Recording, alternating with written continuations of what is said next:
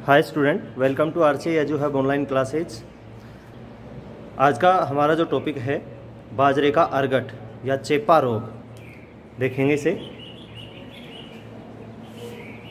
बाजरे का अर्गट या चेपा जो रोग होता है, इसमें जो रोग का नाम जो दे रखा है यहाँ पे, अर्गट।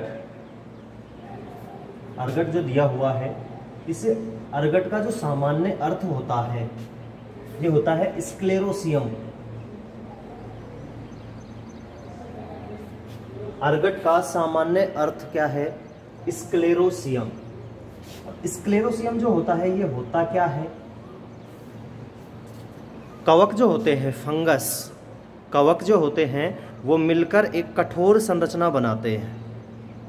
कठोर संरचना बनाते हैं, जिसका रंग जो होता है, वो भूरे ब्राउन या फिर ब्लैक कलर का होता है, उस संरचना को ही हम बोलते हैं स्क्लेरोसियम कवक उत्तक जो होते हैं, ये एक कठोर संरचना का निर्माण करते हैं, जिसे स्क्लेरोसियम कहते हैं। इसका रंग गहरा भूरा या फिर काले रंग का होता है। पूछा जा सकता है, अर्गट का सामान्य अर्थ क्या है? स्क्लेरोसियम एक नंबर में क्वेश्चन पूछे जाते हैं।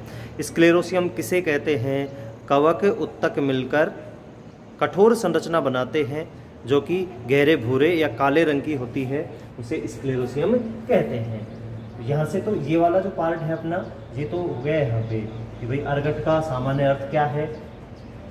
स्क्लेरोसियम और स्क्लेरोसियम किसे कहते हैं? इसके बाद में एक कवक है, जिसका नाम है क्लेवीसेप्स एक कवक है क्लेवीसेप उस क्लेवीसेप्स कवक से प्राप्त होने वाला जो स्क्लेरोसिया होता है, इसका मतलब ये है कि क्लेविसेप्स कवक के उत्तक जो होते हैं, वो मिलकर एक कठोर संरचना बनाते हैं।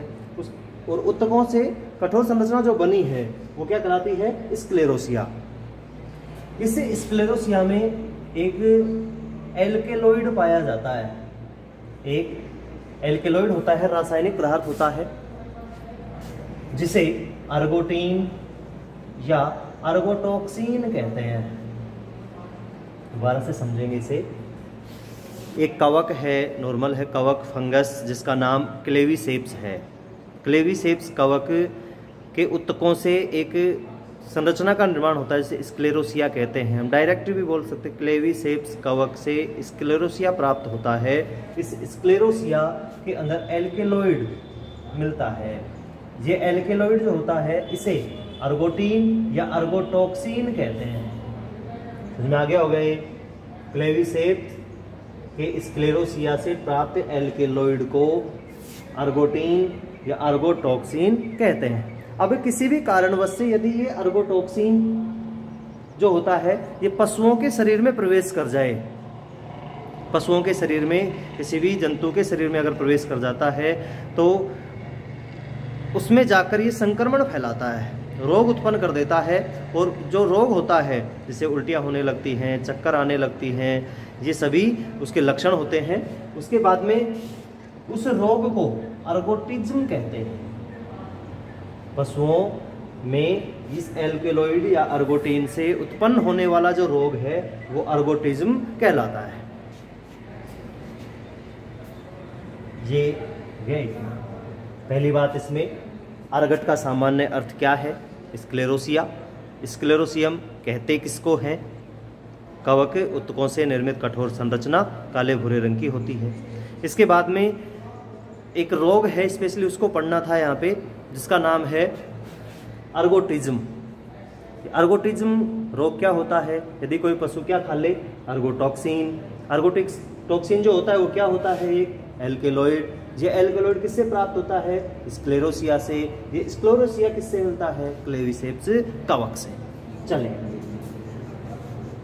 बाजरे का अर्गट चेपा जो रोग है, उसके लक्षण कब दिखाई देते हैं? लक्षण जो होते हैं, वो बाजरे की फ़सल में कौन सी अवस्था में हमें दिखाई देते हैं? यहाँ पर पूछा जा सकता है, एक नंबर में क्वेश्चन यहाँ से। पुष्पा अवस्था में। कौन सी अवस्था में? पुष्पा अवस्था जब पुष्प आने लगते हैं बाजरे में, बालियाँ जब निकलने ही वाली होती हैं, उस वक्त इसके ऊपर दिखाई देते हैं। किस रूप में दिखाई देते हैं? तो इसको दो भागों में बांटा गया है। रोग अवस्था जो होती है, उनको दो भागों में बांटा गया है। यहाँ से मधु बिंदु अवस्था, पहली मधु बिंदु अवस्था और दूसरी होती है स्क्लेरोसिया अवस्था। दोनों ही नाम से ही है कि पुष्प जो है, बालियाँ जो होती हैं, उसके ऊपर यदि मधु मधु का मतलब क्या होता है? शहद। मधु का मतलब क्या हो गया? शहद। यानी कि बालियों के ऊपर यदि शहद के समान चिपचिपे पदार्थ की बूंदें दिखाई दें तो अवस्था कौन सी होगी? मधु बिंदु अवस्था। और यदि बालियों पर क्या दिखाई दे? स्क्लेरोसिया। स्क्लेरोसिया होता क्या है? ये हमने ऊपर पढ़ा है। तो कौन सी अवस्था हो जाएगी? स्क्लेरोसिया अवस्था। देखिए। मधु बिंदु अवस्था। बालियों पर। गुलाबी शहद जैसी इनकी शहद की जैसी चिपचिपी बूंदे दिखाई देती क्या दिखाई देती है चिपचिपी? बूंदे। शहद जो होता है वो भी चिपचिपा होता है तो सेम शहद की बूंदों के जैसे ही बूंदे अगर उसके ऊपर दिखाई देती हैं तो इसे हम क्या कहेंगे? मधु बिंदु अवस्था। और इसी वजह से, ये चिपचिपे बूंदे दिखाई देने की वजह से ही हम इसको क्या बोलते हैं? बाजरे का चेपा रोग। पूछा जा सकता है, अर्गट रोग को चेपा रोग कहते हैं। क्यों? मधु बिंदु अवस्था के कारण। नेक्स्ट स्क्लेरोसिया अवस्था।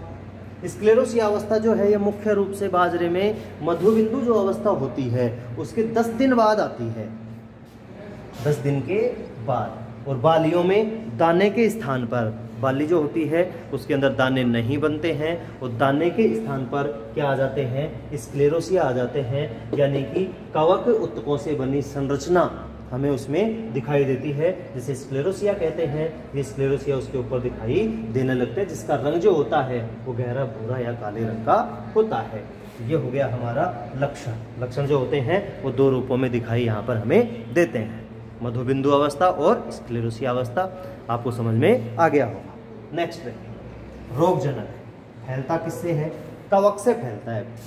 किससे फैलेगा? कवक से। कवक का नाम क्लेवीसेप्स फ्यूजीफॉर्मिस क्लेवीसेप्स फ्यूजीफॉर्मिस रहता किसमें है? उत्तरजीव किसमें रहता है? मृदा में। इस वजह से क्या कहते हैं इसको? मृदोड। क्या कहेंगे? मृदोड। ये कवक जो होता है ये बाजरे में पुष्पन के समय।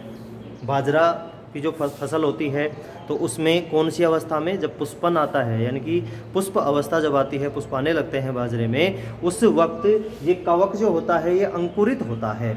और अंकुरित होकर एक बीजाणु बनाता है। उस बीजाणु का नाम है एस्को बीजाणु। उस बीजाणु का नाम है एस्को बीजाणु। ये एस्को बीजाणु जो होते हैं, ये वायु के माध्यम से जो नवजात पौधे हैं बाजरे के जिनमें पुष्पन की क्रिया प्रारंभ हुई है, उनके ऊपर पहुँच जाती है और अपना प्रकोप उसके ऊपर दिखाने लगती है, जिससे उसमें संक्रमण फैलकर हमें लक्षण दिखाई देते हैं। अर्थात बाजरे के अंदर ये चेपा जो रोग है, अर्गट जो रोग है, ये हो जाता है।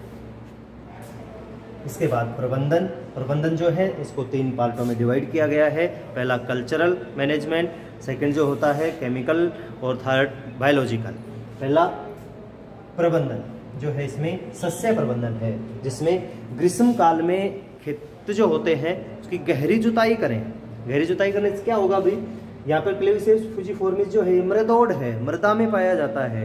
जो खेत की जुताई करेंगे तो ये नीचे से कहाँ जाएगा? भूमि के ऊपर। और वहाँ पर अनुकूल एनवायरनमेंट नहीं होने की वजह से क्या हो जाएगा? नष्ट। तो गहरी जुताई करें। दूसरा, बीजों की जो हम बुआई करते हैं, बीज जब खरीद कर लाते हैं तो स्वस्थ बीज होने चाहिए और प्रमाणित होने चाहिए।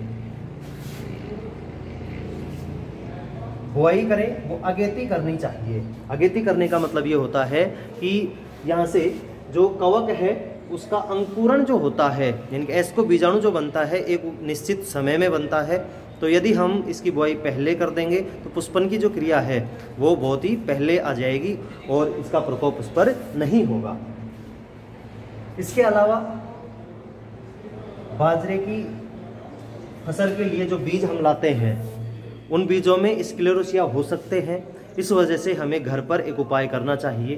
पानी जो होता है उसमें नमक डालकर नमक का घोल बनाते हैं 20 परसेंट घोल होता है नमक के साथ पानी का। उस नमक के घोल में यदि हम इस बाजरे के दाने जो होते हैं या बीज जो होता है, इस बीज को हम उसमें डाल देते हैं। डाल, कुछ समय के बाद में हम देखते हैं कि बीजों पर लगा हुआ स्क्लेरोसियम जो होता है, ये बाहर आ जाता है और ऊपर आकर उसको हम अलग कर सकते हैं। यह हम हो जाएगा इसमें रासायनिक रासायनिक जो फ़सल जो होती है उसके ऊपर कॉपर ऑक्सी क्लोराइड और कार्बनडाजीम जो होती है उसका छिड़काव करते हैं। नेक्स्ट जैविक प्रबंधन। जैविक